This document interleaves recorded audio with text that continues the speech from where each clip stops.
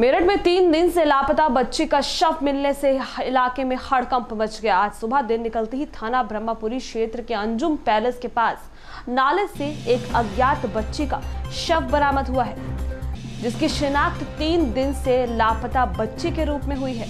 बच्ची की खबर सुनकर परिजनों में कोहराम मच गया है, जिसके बाद परिजनों ने हापुड़ रोड, पीएससी के सामने रोड जाम किया।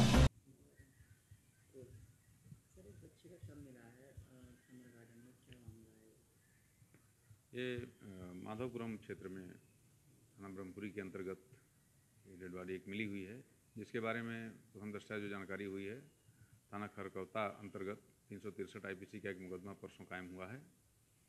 उससे रिलेटेड है, इसमें तथ्यों की छानबीन की जा रही डेड बॉडी यहाँ कैसे आ गई और यहाँ से क्या कनेक्शन है, इन चीज़ों को लेके आवश्यक निर्देश दिए गए हैं और शीघ्र इसका अनावरण कर लिया जाएगा। कुछ तथ्य मिले हैं इसमें, शीघ्र अनावरण होगा।